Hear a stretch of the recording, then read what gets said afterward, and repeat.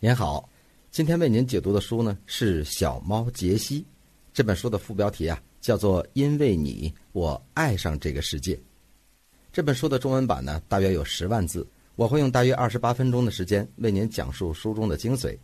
小猫杰西与男孩洛肯之间的真挚情感，帮助洛肯战胜了疾病，改变了一生。二零零四年，日本上映了一部名为《导盲犬小 Q》的电影。取材于一个真实的故事，小 Q 啊是一条有着拉布拉多血统的狗，由于它出色的素质，出生不久啊就被选为了导盲犬。由于小 Q 太小，所以呢先被放到了仁景夫妇家里，培养一下和人类的感情。仁景夫妇对小 Q 非常的疼爱，但是一年以后，训练营开车来接小 Q 了，他不得不与仁景夫妇分别。小 Q 用纯洁的眼睛从车后窗。望着离得越来越远的仁井夫妇，他真的不明白为什么仁井夫妇不要自己了呢？经过训练营的刻苦训练，小 Q 成为了一个合格的导盲犬。他开始为他的第一个主人渡边先生服务。渡边先生是一个固执的人，天生不喜欢狗，但经过与小 Q 相处的一点一滴呢，慢慢的与他建立了深厚的感情。不久，渡边先生病倒，只能住在医院里。他艰难地挥手与小 Q 道别，小 Q 依然用纯洁的眼睛望着他。他多希望自己的主人快点好起来呀！三年后，渡边先生来训练营看小 Q，想让小 Q 再次为自己领一次路。这之后，渡边先生就去世了。追悼会上，小 Q 静静地望着关中的渡边先生，沉默不语。在训练营度过随后的七年以后呢，小 Q 又回到养父母任景夫妇家。小 Q 患了白血病。在任井夫妇的陪伴下，过完十二岁生日后，玩着玩着就踩空台阶倒下了。影片没有哗众取宠的桥段，也没有跌宕起伏的情节，就像是一部纪录片一样平平淡淡。但小 Q 的忠诚、善良、可爱，却不经意间击中人心最柔软的地方，让这部电影成为了一颗重磅催泪弹，轰动当时的亚洲影坛。真挚的感情才能直击人心。我们喜欢小动物，有时候不仅仅是因为它们萌萌的外表、天真的童趣，更多的时候呢，是因为在相互陪伴的过程中倾注了太多的情感，让动物不知不觉间成为了我们的亲人和朋友。今天为大家解读的这本《小猫杰西》呀，为我们讲述了一个发生在人类和动物之间的真实感人故事。小主人洛肯是一个患有选择性缄默症和阿斯伯格综合症的孩子，深受疾病困扰的洛肯在陌生人面前一言不发，理解别人的话只能理解表面意思，不会倾诉爱，不会表达爱。妈妈珍妮为了他的病坚持不懈地寻求各方面的指导和解决方法，最终在一只叫做杰西的小猫的帮助下，洛肯放下戒备，敞开心扉，获得了飞跃性的进步。小猫杰西的作者珍妮·迪伦婚前呢是英国曼彻斯特一家医院的助产士，她是三个男孩亚当、卢克和洛肯的妈妈，其中两个儿子都患有阿斯伯格综合症。这本书呢是他深情讲述的关于他的小儿子洛肯在病症困扰下的成长经历，以及小猫杰西对洛肯的帮助所创造的奇迹。好了，介绍完这本书的基本情况和作者概况呢，接下来呀，我用三个内容来为您归纳一下书中的重点。第一个内容是活泼可爱的男孩洛肯被怀疑患了一种罕见的病症——选择性缄默症。第二个内容是小猫杰西的爱和陪伴让洛肯慢慢的打开了心扉，学会了倾诉。第三个内容是洛肯被确诊患有阿斯伯格综合症和选择性缄默症。战胜疾病的道路是漫长，但却充满希望的。好，我们先来看第一个内容：活泼可爱的男孩洛肯患了一种罕见的病症——选择性缄默症。珍妮在生下大儿子亚当之后，成为了一名单身妈妈。她经过训练，成为了一名助产士。后来，她在工作的医院遇到了现在的丈夫医生大卫。亚当十四岁的时候，他们生下了二儿子卢克。卢克三岁的时候，洛肯出生了。因为大卫拥有爱尔兰血统，所以珍妮给小儿子起了一个爱尔兰的名字——洛肯，意思是烈火勇士。洛肯是一个健康漂亮的婴儿，只是比较爱哭，哭起来声音特别大，尤其是晚上。洛肯很难入睡，从来没有睡过整晚的觉，有时半夜醒过来还会大声的尖叫。洛肯很聪明，他很早就学会了说话，两岁的时候基本就达到了他哥哥三岁的水平。洛肯也很可爱，白天带他出去的时候，大人们总是忍不住望着他微笑。但是如果有人想和他说话，他就会把自己藏起来。但这并没有引起珍妮的注意。孩子小的时候可能都比较害羞吧。随着洛肯慢慢长大，珍妮越来越发现洛肯的与众不同。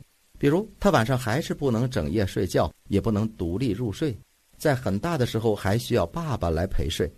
他喜欢小猴子，会把很多猴子摆在床的旁边，说这样他就不会害怕了。当妈妈问他害怕什么的时候，他又回答不出来。他在家里是一个很外向、很爱说话的小孩，但在陌生人面前却一句话也不说，反而会歇斯底里的尖叫个不停。洛肯不喜欢别人拥抱他、亲吻他、接触他。对他来说呀，任何爱的表示都不会得到回应。比如妈妈对他说“我爱你”，他不会有任何反应；当别人痛苦或者不高兴的时候，他也不会表达同情。有一次，珍妮从楼梯上摔下来，哥哥卢克立刻跑过去问妈妈怎么样。可是洛肯仍然待在原地，他对周围发生的事情根本就没有察觉。还有，洛肯在理解别人说的话的时候，只会按照表面的意思来理解。在我们的日常谈话中，会用到大量的比喻和夸张，但洛肯呢，就会信以为真。比如，妈妈要是说这个袋子太重了，我的胳膊都快要掉下来了，洛肯就会当真以为妈妈的胳膊快掉了。他是这么理解别人的话的，所以他对别人也是这样简单直接的说话方式。洛肯三岁的时候，他的哥哥亚当最终被诊断为阿斯伯格综合症。阿斯伯格综合症同自闭症一样，都是一种神经系统发育障碍性的疾病，但它又不同于自闭症，区别在于阿斯伯格综合症没有明显的智能障碍。但在这之前，这个孩子经历了一段非常艰难的岁月，却没有人发现。珍妮特别的自责，而这个时候呢，洛肯开始上幼儿园了。让珍妮担心的日子也开始了。每次送洛肯上学，他都会哭叫不断，声音大得直冲云霄。如果强行将他留在学校呢，他就会拒绝脱掉帽子和外套，连手套也不让摘。珍妮和老师想了很多的办法，终于让洛肯慢慢适应，愿意上学了。但新的问题又来了，他不肯说话，而且当他紧张或者是担心的时候呢，脸上就会露出一种神经质的微笑。因为有了哥哥亚当的前车之鉴，珍妮觉得他必须要重视起来了。和一般怕羞的孩子相比，洛肯的情况明显严重的多。他和洛肯的老师说：“洛肯不会得了选择性缄默症吧？”珍妮不知道自己为什么会冲口而出这句话，可能因为亚当的病，他以前读过类似的文章吧。为了洛肯不再受哥哥受过的苦痛，能够早日采取防范措施，他更加认真地钻研相关的资料。那么，什么是选择性缄默症呢？顾名思义，就是患者在有些场合说话与正常人没有什么不同，但在某些场合却说不出话。选择性缄默症不是我们通常所说的自闭症，它是一种由于精神障碍所产生的疾病，与智力和神经系统发育都没有关系。据研究，大约有千分之六的儿童患有这种病症，和一般自闭症的比例相差无几。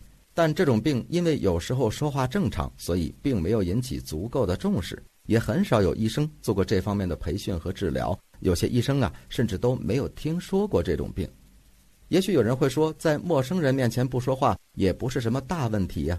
可是想想吧，如果在幼儿园的时候完全不说话，那无论是受了伤，还是想去尿尿，或是有任何别的需求，他都不会说。他还会经常微笑，别人都以为他很好，但实际上这也是焦虑的一种表现。比如在抽血的时候，或者去看牙医的时候，人们经常就会被他的笑脸骗了，以为他根本不害怕，其实那是真的很害怕的样子。所有的研究文章都表明，尽早治疗对这种病非常关键。珍妮到语言障碍矫正中心对洛肯进行了初步测试，结果表明啊，洛肯是一个很聪明的小孩。专家们甚至说，等他什么时候想开口的时候，他必然会开口吧。在珍妮的一再坚持下，语言专家给幼儿园制定了一套方案，叫做“打破障碍”。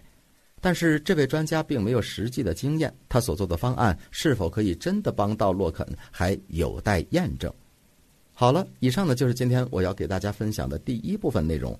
活泼可爱的男孩洛肯被怀疑患了一种罕见的病症——选择性缄默症。小男孩洛肯聪明漂亮、活泼可爱，表面看起来和别的孩子没有什么不一样，但实际上他有很多与众不同的地方，比如在陌生人面前说不出话，比如经常神经质的微笑，比如不能理解别人话语中的深层意思，而这些呢，都是选择性缄默症的表现。那么我们接下来呢，就说今天的第二个重点内容：小猫杰西的爱和陪伴，让洛肯慢慢的打开了心扉，学会了倾诉。在珍妮和幼儿园老师的共同努力下呀，洛肯到幼儿园毕业的时候，已经可以和他不认识的人交谈了。这个时候的他看起来和正常的孩子没有什么区别。珍妮以为他真的已经打破障碍，痊愈了。语言矫正专家们也给洛肯下了已经确认治愈的诊断。暑期过后，洛肯开始上小学了。这个学校和洛肯的幼儿园在一个校园里，只是换了不同的教室而已。尽管如此，专家们还是警告珍妮，洛肯可能会有退步的表现。果不其然，开学对洛肯的影响非常大。他又开始什么都不说了。他功课很好，作业也很棒，但是在老师提问的时候，只会点头或者摇头。学校针对洛肯的情况，也为他做了一对一的学校额外行动计划。洛肯的父亲大卫也找到了一位自闭症领域的专家安东尼先生，对洛肯进行诊断和治疗。安东尼不认为洛肯患有自闭症，但不排除在阿斯伯格综合症的范畴。洛肯的很多行为都符合阿斯伯格综合症的症状。早在亚当小时候，珍妮就养了一只猫弗洛。弗洛是亚当童年的伙伴。当弗洛死后呢，珍妮想再养一只猫来替代他的位置。经过认真的调查和准备，她选了一只可爱的伯曼猫。它全身长着奶白色的绒毛，脸上却有一圈黑色的毛，一双美丽的蓝眼睛特别的迷人。这只人见人爱的小家伙一到家就把孩子们迷住了。洛肯更是表现出对它的极度喜欢。从一见到这只小猫，他的脸上就闪耀着动人的光芒。这只小猫和洛肯是如此的合拍，和以前的老猫弗洛相比，这只小猫更喜欢热闹，所以洛肯的好动和大喊大叫，他都觉得很有意思。不管洛肯走到哪里，小猫就跟到哪里。洛肯有许多特别喜欢的玩具，其中有一个叫做杰西，是他爱看的动画片中一只猫的名字，所以给小猫起名的时候，珍妮就给它也起名叫杰西。洛肯很高兴。因为小猫居然和他最喜欢的玩具同名，洛肯对杰西非常的温柔。他对家里的另一只宠物狗丽丽就是纯粹的男孩式的蹂躏和折磨，但对杰西连说话的语气都是温和的。即使他捣乱踢翻他的玩具，他也顶多说一句：“别闹了，杰西。”洛肯很情绪化，有时候高兴的唱起歌来，有时候又会大声的哭闹。不管哪一种，他的声音总是很大。这个时候，小狗丽丽就会躲得远远的，但杰西就会一直陪着他。当然，他不会说什么安慰的话，但他永远也不会离开洛肯。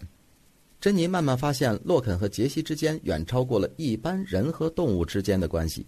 杰西会长期待在洛肯的卧室里，睡在洛肯崭新的被子里。洛肯以前睡觉的时候会用小猴子将自己围起来，而增加安全感。而现在呢，他会把自己和杰西一起围在里面。洛肯做任何事情都要带着杰西，不管杰西听不听得懂，洛肯都会和他聊天比如在学校学了什么等等，什么都和他说。只要杰西喵喵地叫上几声，洛肯就心满意足了。每当洛肯放学回来，杰西都会高兴地到门口迎接他。洛肯不喜欢别人接触他，但杰西就可以。如果杰西和小狗丽丽追着玩，洛肯也总是提醒丽丽别让他伤着杰西。一天，珍妮在客厅看报纸，洛肯和杰西在地板上玩。然后，珍妮忽然听到了一句从来没有从洛肯嘴里说出过来的话。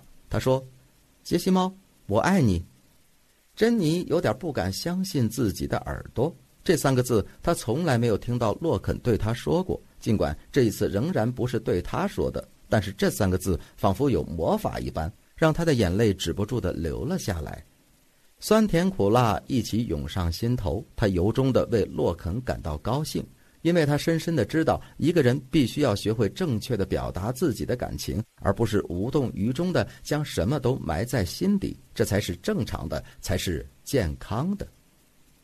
洛肯和杰西之间的一点一滴，让珍妮这个母亲心中充满了感激。有一天，珍妮无意中在网站上看到了一个专门保护猫的组织正在举办大赛，寻找那些对主人有很大帮助的猫。珍妮立刻就想到了洛肯和杰西。杰西对洛肯的选择性缄默症有着多大的帮助啊！珍妮报名参加了比赛，最终杰西获得了最棒朋友奖和年度猫咪奖，成为一名家喻户晓的明星了。珍妮和洛肯参加了颁奖典礼，参加了电视台的采访，洛肯都比较配合，甚至在全班三十多名同学面前，洛肯做了一次非常成功的演讲，内容就是关于令他骄傲的小猫杰西的。杰西帮助洛肯找到了自信，教会了他如何拥抱和亲吻。对杰西的爱让他战胜了在陌生人面前说话的障碍，这对于他来讲是一个多么大的突破呀！好了，这就是今天与您分享的第二部分内容。小猫杰西的爱和陪伴让洛肯慢慢的打开了心扉，学会了倾诉。妈妈珍妮为洛肯养了一只小猫杰西，洛肯特别喜欢它。在每天的相互陪伴中，与杰西建立起了不同寻常的感情。因为杰西，洛肯慢慢的打开了心扉，学会了表达情感，获得了慰藉和自信，并且迈出了在陌生人面前公开说话的第一步。好了，上面为您讲述的呢，就是第二个内容：小猫杰西的爱和陪伴，让洛肯慢慢的打开了心扉，学会了倾诉。咱们接下来呢，说第三个。洛肯被确诊患有阿斯伯格综合症和选择性缄默症，战胜疾病的道路是漫长，但却充满希望的。一直以来，妈妈珍妮从来没有放弃寻求对洛肯的诊断和治疗。她觉得最起码要得到一张诊断证明，能够让洛肯凭着这张证明得到一种适合他的特殊教育，而不是像现在这样被看作是一个正常人，而实际上却在忍受着一种别人看不到的痛苦。后来，他又找到了儿童与青少年脑健康中心，对洛肯进行一系列的测试和诊断之后，最终得到官方确认，洛肯的确也像他的哥哥一样患有阿斯伯格综合症，同时还有选择性缄默症。如果说在获得正式诊断之前，珍妮还存有一份侥幸，那么现在剩下的就只有痛苦了。他清楚的知道哥哥亚当曾经面对过如何严峻的问题，承受过怎样痛苦的挣扎。医生建议在上中学之前就让洛肯知道自己的病情，所以珍妮一直在找合适的机会和洛肯谈这个问题。他想告诉洛肯，其实有很多的名人，比如说比尔盖茨，还有著名的物理学家牛顿，都患有这种病症。亚当还送给了洛肯一本书，书名叫《所有的猫咪都有阿斯伯格综合征》。出乎珍妮的预料，洛肯很坦然地接受了自己的病情。亚当给他的书，让他从猫咪的角度更了解了这种病症。他认为他和杰西是一样的，这也让他和杰西的感情更加亲密了。那么，到底如何治疗洛肯的病呢？珍妮想找到更多的资料和建议，想让洛肯在上中学之前能做好充分的准备，但这方面的资料太少了。最后，他想到了大儿子亚当，于是让他写下当初所遇到的所有问题。珍妮没有想到，亚当列了一个长长的清单，上面详细记录了他遇到的每一件痛苦的事情，并根据他的经历对洛肯的老师提出了一些建议。这些建议能让洛肯的生活更容易些，比如给洛肯的指示要明白清楚，到底是写一个大纲，还是写一个段落，或者是一篇文章。总之，不要以为别人让他做的事情，他一定都会明白。实际上，他很容易糊涂。读着亚当经历的这些痛苦和挫折，珍妮的心都要碎了。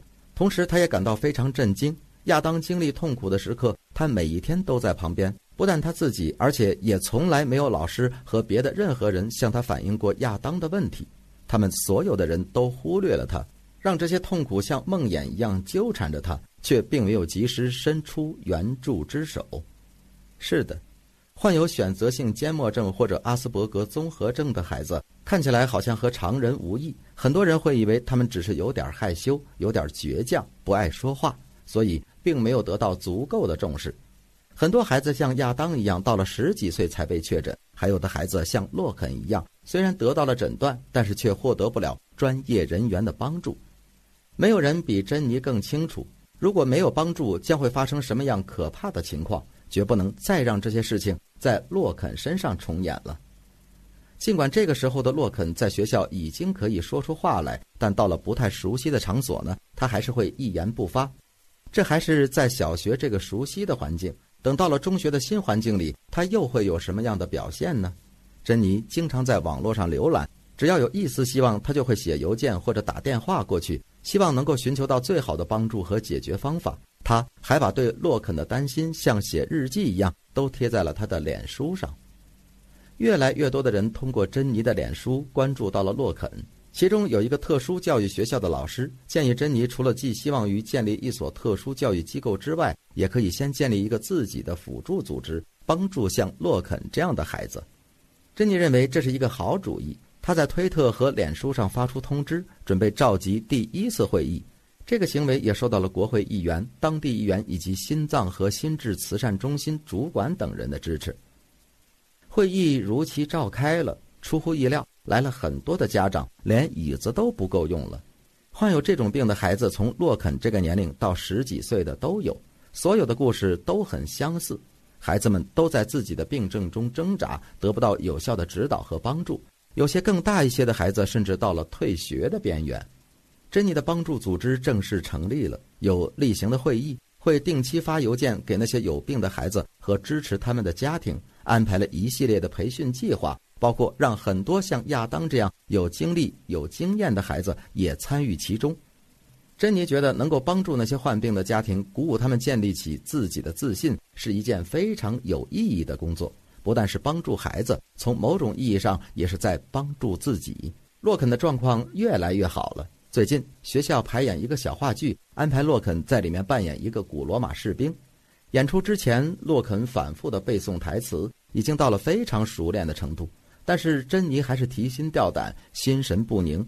她不知道在那么多陌生人面前，洛肯会表现得如何呢？重要的时刻终于来临了，轮到洛肯上台了。只见他张开嘴，清晰而准确地在全校师生面前说出了他的台词，声音洪亮动听。眼泪再一次从珍妮的眼角流下来。洛肯太棒了，对他来说，这真的是一个巨大的飞跃。知道洛肯情况的家长们都走过来祝贺珍妮。校长和同学们在听到洛肯大声说话的时候，也都惊讶的目瞪口呆。珍妮忍着眼泪微笑着，脑海中浮现出洛肯和杰西的点点滴滴。他发自内心的感谢小猫杰西。如果没有他，就没有洛肯的今天；如果没有他，珍妮也根本不敢做今天这样美好的梦呢。好了，以上呢就是今天要和大家分享的第三部分内容。洛肯被确诊患有阿斯伯格综合症和选择性缄默症，战胜疾病的道路是漫长，但却充满希望的。说到为了治疗洛肯的病，珍妮就像一个战士一样，从来就没有放弃和退缩过，而是想尽办法从各个方面寻求着解决方法。最终，在小猫杰西、专家医生和老师家人的共同努力下，洛肯的病有了飞跃的进步。但是在这个世界上，像洛肯一样的孩子还有很多很多。为了他们都能够得到一定的帮助和指导，珍妮并没有停下脚步，而是继续前行，成立了针对阿斯伯格综合症的帮助组织，为帮助洛肯以及和他一样的孩子们努力，将永远不会停止。好了，说到这里呢，我们今天聊的内容就差不多了。让我们来回顾一下今天为您分享的内容。首先，我们说到活泼可爱的男孩洛肯被怀疑患了一种罕见的病症——选择性缄默症。说到小男孩洛肯聪明漂亮、活泼可爱，表面看起来和别的孩子没有什么不一样，但实际上呢，他有很多与众不同的地方，比如在陌生人面前说不出话，比如经常神经质的微笑，比如不能理解别人话语中的深层意思，而这些呢，都是选择性缄默症的表现。